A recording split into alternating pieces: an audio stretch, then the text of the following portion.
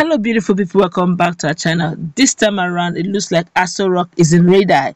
Uh, lots of Nigerians have been wondering what's up, what is going on in Aso Rock. There seems to be one section talking more often, the other section seems to be generally very quiet and calm over so, so many things. Well, as we speak, it looks like um, there's some a lot of things in the radar in the realm of the spirit as men of uh, timber and caterpillar, quote unquote, are beginning to talk and they are saying this futuristically and insisting that Nigerians should watch out. A lot is going to come out from Aso Rock that will shake not just Nigerians, but generally the whole atmosphere of economic and political uh, surroundings of Nigeria. But before we go to the newspaper to find out what it is, they are saying that we should be expecting from Aso Rock, good or bad, it's left for you to decide. Like it, subscribe to our channel by clicking on the red subscribe button beside it. You'll see a bell notification icon. Please go ahead, click on it to get notified as soon as we update our channel on YouTube. We're the leader of INRI Evangelical Spiritual Church Primate Ayodele has predicted a clash between President Muhammadu Buhari and his vice Yemi Osinbajo. Mm. Primate Ayodele also disclosed that some of Buhari and Osinbajo's aides will also clash. In a series of prophecy issued in his church, the clergyman also warned Buhari to be very careful with his movements from October to December this year because his convoy will be attacked. He urged the Nigerian government to ensure that the presidential jet is put on order, or rather, put in order to avoid crisis.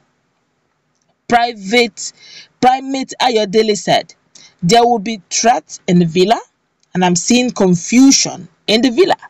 Buhari will lose one of his aides.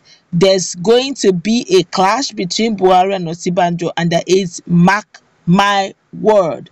I'm not the one that said it is Primate Ayodele that said I'm only quoting him. Besides this, the people of Southwest will pick against Osinbajo mm, because people Tinubu group will cause problem for him. SWAGA will be swept on swept away because they have not done any good plan. There's going to be a there's going to be problems in SWAGA. A, apart from this, Tinubu's effort will not be appreciated. EFCC will expose a lot of things. Bawa will do a very good job but will not be appreciated. Buhari's ministers to be indicted and it will cause rancor among other ministers which will lead to the res resignation of a minister in Buhari's cabinet. Another prominent pastor will die. Mm. Buhari should be careful in his outings during the 10th, 11th and 12th month this year so they don't attack his convoy. The presidential plane should be put in proper shape to avoid technical problems. Nigerians have taken to the social media to react. If you see the kind of prayer they are praying, eh, you ask yourself, this is how well we love our people. It's a serious issue. I tell telling Nigerians are not joking and they're actually making their stand known. We're going to take cross cross section of some of the commentary before we go into uh, critical analysis of this. No no holds barred. This here say Buhari and Osinbajo are already clashing. The team just never reach spiritual level. Every time Baba travels, Osinbajo will make progress, but Baba will return and start back pedaling Nigeria back into stone age. It's clear they are clashing, but, what, but whoever will wipe the tears of the masses and restore good fortunes of the people, may God aid them. Everything else now story. Let everybody repent and accept Christ sincerely because only God is the way out of Nigeria's complex problem. I tell you, this one here say Gaskia, that is it. This one here say Umbanka. Which one is Umbanka again? I guess that should be um uh, house, I guess. This one here say, you are right, my brother. There's only God that can solve our problem. This one here say, okay, oh, have we not repented enough in this south? Okay, are you saying that we should not repent? We should go ahead and do what now? We should kill ourselves. We're not serious, man. Let's tell, tell ourselves truth. We need God as much as we can. We must stay strong. We must stay, we must stay focused.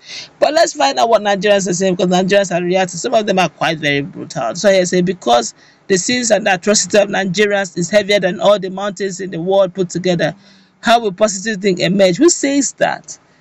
Look, the, the only thing with us is that. Um, we when things happen, we don't keep quiet. We we scream it, we shout it at the rooftops. It doesn't mean that other countries don't go through what we're going through. Just that uh, our own men, men, our own is actually at the rooftop. Let's tell ourselves the truth. Our own is at the rooftop. hey, the level of lawlessness, the way bandits are ravaging the whole Nigeria, it just you begin to wonder: is it that our people are overwhelmed? You have seen this uh, last video we just uploaded how uh, one of the security personnel screamed out that look, this whole thing of banditry is coming more political than security. Security, the way we're looking at it, that actually they are supposed to give them weapons, but they are not giving them because they that sometimes they want to go after bandits. They tell them, come on, don't go that way.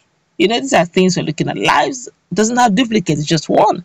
And these are the things that are coming out from the same one Nigeria. It's a serious issue, I tell you. We need to start looking beyond ethnicity and start thinking how we can rebuild Nigeria, but it can only come from you and I. But let's continue. This one here is saying, who really are the beneficiaries of this man's prophecies? Well, time will tell.